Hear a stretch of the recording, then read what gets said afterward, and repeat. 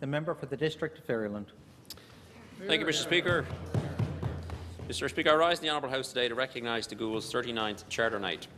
I would, I would like to take this opportunity to thank and recognise all members of the Gould's Lions Club, past and present, for the outstanding contribution they make to their community. Newfoundland and Labradorians are well known for the amount of volunteer work contributed each year in our province. Indeed, we lead the country in our hours of volunteerism. This is exemplified no better than with the Lions Club from the Goulds. I've had many opportunities to work with the Lions and see their tremendous efforts in all they do. I want to commend the Goulds Lions for all the great work the club has done in the past 40 years, and I'm sure this important community role will continue in the future. The Goulds is a better place because of their tireless efforts. I would like to ask all members of the House to join me in congratulating the Goulds Lions and all the wonderful work they have done in the past 30 years. Thank you, Mr. Speaker.